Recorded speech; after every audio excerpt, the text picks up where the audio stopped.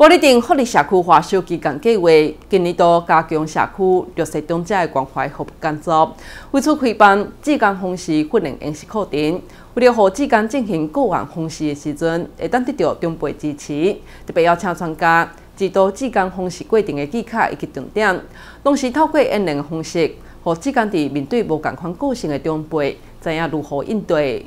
有啦，我会使明明都去啊。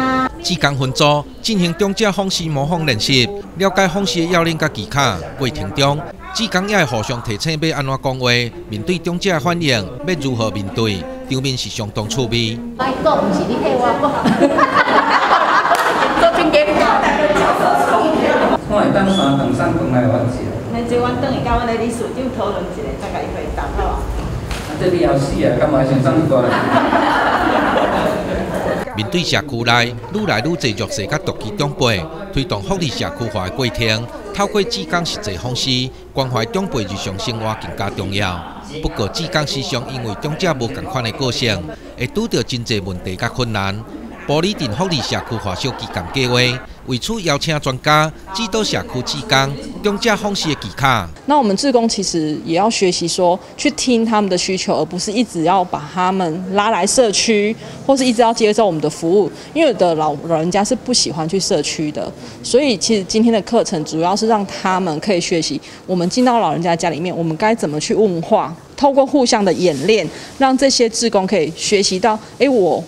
看到的个案跟别人看到的个案，这当中有没有可以交流的地方？课程特别安排和每节社区之间进行模仿练习，遇到各种状况应对甲处理的方法，加强志工方式的专业能力。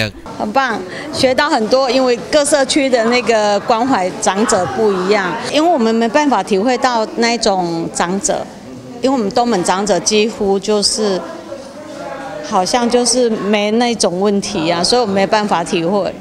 今天上了课，对，哎，可以可以跟大家分享这一些，然后他们我也学习到很多。透过这个课程，能训练我们一些社区的志工，能帮助独居老人。现在独居老人太多了嘛，啊，可以帮助他们来出来社区这边，哦，透过我们的协助来社区。参与我们的社区活动，不会孤独在家里。模仿练习和志工学习如何甲长辈互动沟通，嘛接触和各社区互相观摩交流。未来实际进行长辈方式，会当更加顺利。大家关怀长辈甲服务的最后目标。记者吴嘉诚采访报道。